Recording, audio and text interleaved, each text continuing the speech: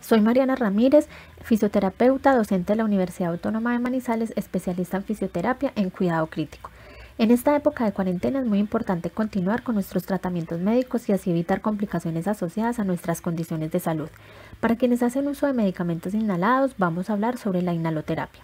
Recuerde que los inhaladores deben utilizarse con las inhalocámaras y no directamente en la boca, no solo para facilitar su aplicación, sino para garantizar una adecuada administración de los medicamentos inhalados, mejorando su efectividad y asegurando así la penetración del medicamento hasta los pulmones.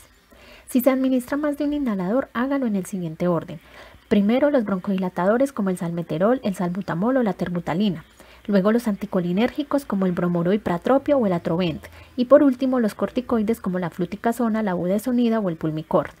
Esta secuencia permitirá la apertura de sus bronquios y que la medicación administrada sea mucho más efectiva. Al momento de utilizar la inhalocámara, realice una adecuada higiene de manos.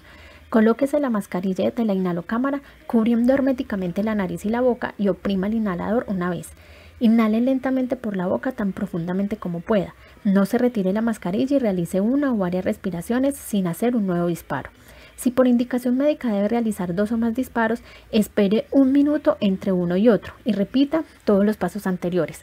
Si requiere la aplicación de más inhaladores, retírese la mascarilla, descanse por un minuto, ubique al otro inhalador en el espaciador y repita todos los pasos anteriores para cada disparo. Para saber si el inhalador aún tiene medicamento, sumerja el cartucho en un recipiente con agua. Si este flota, está vacío. Si se hunde con facilidad, aún conserva medicamento.